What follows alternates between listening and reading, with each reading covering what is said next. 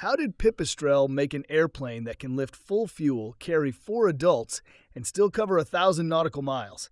In this piece, I'm going to walk you through the design choices, show the exact mission math, and stack the Panthera against rivals so you can hear why full fuel, a thousand nautical miles for adults is a big deal. And more importantly, how the Panthera actually gets there. Let's start with the target numbers and why they matter. From Pipistrel's current spec sheet, the economy cruise is about 190 knots true at 12,000 feet on roughly 11.1 gallons per hour at 60% power. Usable fuel capacity is about 89.8 gallons. Maximum takeoff weight is 3,000 pounds, Typical empty weight is around 907 pounds, which leaves a useful load of about 1,093 pounds. The published maximum range with four passengers and an IFR reserve is an even 1,000 nautical miles. What's striking is how these figures line up big tanks, high true airspeed per gallon, and a real usable load. Put differently, the airplane isn't gaming the range at 140 to 150 knots. Based on the economy profile and 89.8 gallons usable, a 1,000 nautical mile leg is achievable at 190 knots while holding IFR reserves. Third party reports back this up. Pilots have seen about 193 knots true around 13 gallons per hour and roughly 183 knots true on about 11.5 gallons per hour near 8,500 feet. Numbers that reinforce the brochure's fast on little fuel profile, and AOPA has written about exactly that. Why this is a big deal is simple. In most four seat singles, you can have speed and range, or you can have four adults, but not all three at once unless you slow down a lot or stop for fuel. The Panthera's trick is reducing drag so much that 190 knots lives in the low teens gallons per hour, which means those 89.8 gallon tanks can support both speed and distance with passengers aboard. Now let me show the work the 1,000 mile mission math so you can hear each step.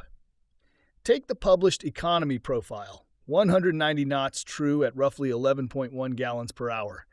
Time for 1,000 nautical miles is 1,000 divided by 190, which is about 5.26 hours.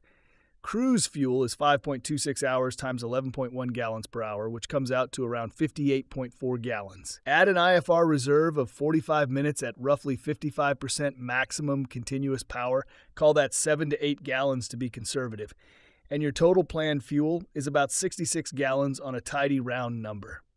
At 6 pounds per gallon, that's roughly 396 pounds of fuel.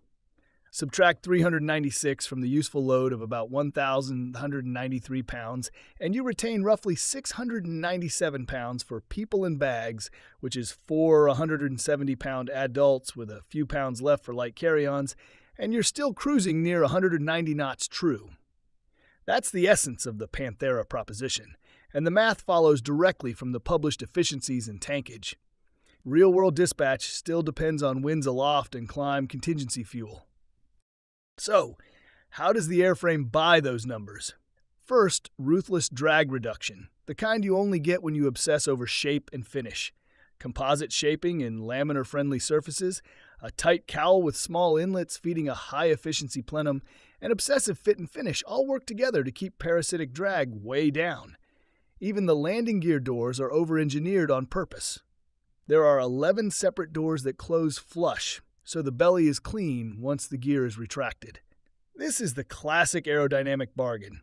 Spend effort on cutting drag so you can spend less fuel for the same speed, and AOPA's coverage calls this out. Second, efficient lift and landing gear architecture actually matter more than most people think. The retractable titanium trailing link gear keeps the cabin height down, which reduces frontal area and therefore drag, and it keeps gear down drag low. When you retract it, you remove the biggest fixed gear penalty entirely. Pipistrel's brochures highlight this as a key efficiency lever because it truly is. Third, the engine choice is about operating point, not exotic hardware. It's just a 260 horsepower Lycoming IO 540, nothing magical. What's special is that the airframe allows high 180s to low 190s knots true at low teens gallons per hour, an operating point where a lot of other four seat singles need more fuel for the same speed, or they have to slow down to hit their range claims. AOPA's flight tests, showing about 183 knots true at 11.5 gallons per hour, corroborate the efficiency in the real world. Fourth, the tanks are sized to fit the mission profile you actually want to fly. Many four place tours carry 60 to 75 gallons. The Panthera packs roughly 90 gallons usable. Couple that with around 17 nautical miles per gallon at 190 knots, and you get an airplane that can both sustain speed and respect reserves with four aboard instead of forcing you into a fuel stop. Fifth, and this point is critical, the safety architecture is modern. The cabin is engineered like a safety cell, essentially a roll bar structure with energy absorbing zones, and the full airframe ballistic parachute is standard equipment. You are not trading safety away to get the speed and the range, you're getting both. Now let's compare who can really do a thousand nautical miles with four adults and reserves, and at what speed and under what conditions? I'm going to keep this grounded at normal cruise, not pull down into long range droning, and I'll call out tankage limits where they matter. Cirrus SR22 and SR22T first. Modern SR22s and SR22Ts have about 92 gallons usable, and Cirrus publishes 169 nautical miles for the SR22 and 1,021 nautical miles for the SR22T at 55% power. That's real, but it implies you are slowed to 55%, which is well below the 180s or 200 knot claims owners like to talk about at higher power. At typical 65 to 75% cruise, published and field numbers run roughly 171 to 180 knots true, with about 15 to 18 gallons per hour. So to get a thousand miles, you accept a slower profile than the Panthera's 190 knot economy setting. The takeaway is simple. Cirrus will do a thousand miles when slowed. Panthera does a thousand miles at about 190 knots. Cirrus counters with an unmatched ecosystem. Training, caps, avionics integration, service, which is compelling, but on pure speed per gallon, the Panthera holds an edge. Beechcraft Bonanza G36 next. Fuel is 74 gallons, usable by the factory spec. Typical cruise lives around 163 to 174 knots, true at roughly 13 to 16 gallons per hour. With smaller tanks than the Panthera, a non-stop 1000 with 4 plus reserve usually means pulling way back into slower cruise or stopping once. It's still a superb hauler and an all time classic. But tankage is the limiter if you want higher cruise speeds and that long leg 4 up. Diamond DA50RG, the stylish Jet A sipper. Fuel is roughly 49 gallons usable per the factory spec. Published max range is around 750 nautical miles at economy settings, with consumption on the order of 9 to 11 gallons per hour at max range power. In exchange, you get a modern diesel that sips jet fuel, but a thousand mile nonstop with four aboard isn't the standard profile unless auxiliary tankage appears. Van's RV 10, the kit plane with many engine options. Typical fuel is roughly 60 gallons usable. Real world economy, documented by AOPA, shows about 165 knots true at around 9.2 gallons per hour at 65%, which is around 18 nautical miles per gallon, even better than the Panthera's nautical miles per gallon, but slower. With reserves, you're on the edge of a thousand mile leg four up. Many owners plan a stop. Socata TB20 Trinidad, a legacy benchmark with big legs. Fuel is 86.2 gallons usable, 88.8 total, and cruise sits around 160 to 163 knots on about 14 to 16 gallons per hour. Tankage is generous, but true airspeed per gallon is lower, so a 1,000 miles four up is often a long range, slower affair. The Panthera achieves more speed on less fuel. Cessna 182T, the modern fixed gear workhorse. Fuel is about 87 gallons usable. Economy settings yield about 145 knots, true with published ranges in the 915 to 971 nautical mile band depending on model and power. Utility is tremendous, but fixed gear drag keeps true airspeed down. To fly a thousand miles, you're either in long range settings or you stop when you're four up. The pattern should be clear by now. Most four place singles either run out of fuel volume at real cruise, must slow down to economy power to reach a thousand miles, or sacrifice payload to carry enough fuel. The Panthera's combination. roughly 90 gallon tanks plus roughly 190 knots true on roughly 11 gallons per hour plus roughly 1,190 pounds of useful load sidesteps that three way trap. Now for the hard truth section caveats and operational realities you need to plan around. Speed control on descent takes intention because the airplane is so clean it builds speed quickly. AOPA noted you can run into the yellow arc if you're not thinking ahead. The flip side is that those multiple gear doors act like speed brakes, but VLE and VFE are modest. Think 106 knots indicated, so you plan energy early and you fly the pattern like it's a fast airplane. Spec evolution also matters. As I said, early U.S. demo birds showed smaller usable fuel until the long range tanks rolled in. That's why older articles cite around 55 gallons. The current datasheet's roughly 89.8 gallon figure is what underpins the 1,000 nautical miles with four claim, so always check the specific airframe's equipment.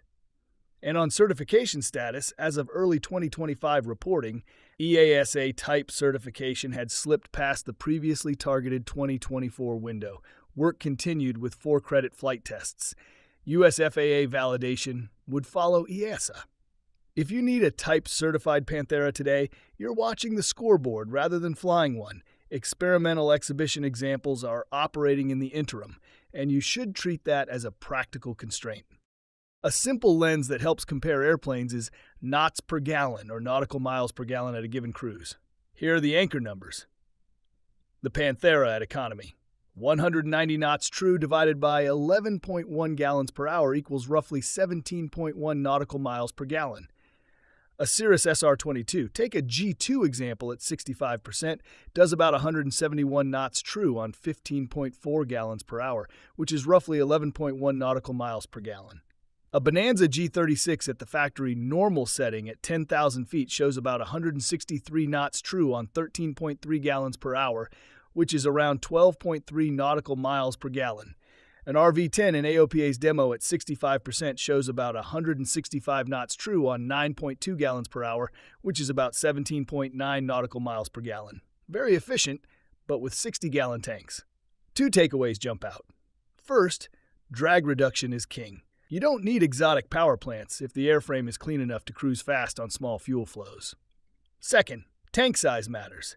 The RV 10's efficiency is stellar but with about 60 gallons on board, you're right on the edge of a thousand mile leg with reserves, and you'll be flying roughly 25 knots slower than a Panthera doing the same distance. So, why is the Panthera's specific full fuel plus 1,000 nautical miles plus four adults claim credible? Five reasons. One, the tanks are big enough. Roughly 90 gallons usable gives you the fuel mass to maintain roughly 190 knots and still hold IFR reserves without pushing payload off the airplane.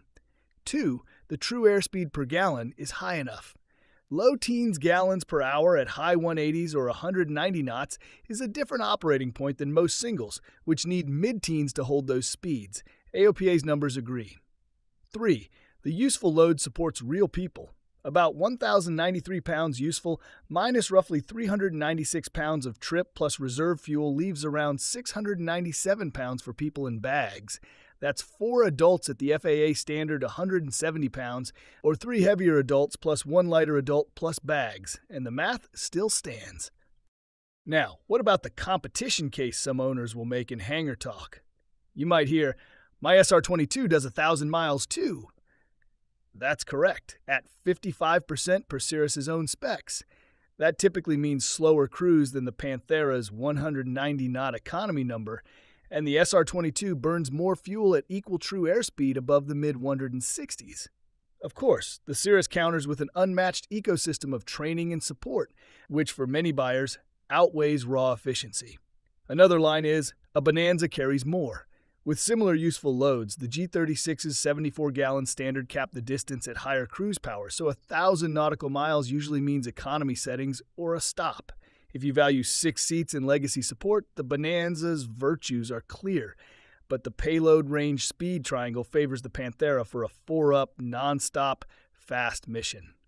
A third line the DA50 burns Jet A and is classy. True and its nautical miles per gallon can be superb, but with about 49 gallons usable and a roughly 750 nautical mile max range spec, it's a one stop airplane for a 1,000 mile day with passengers.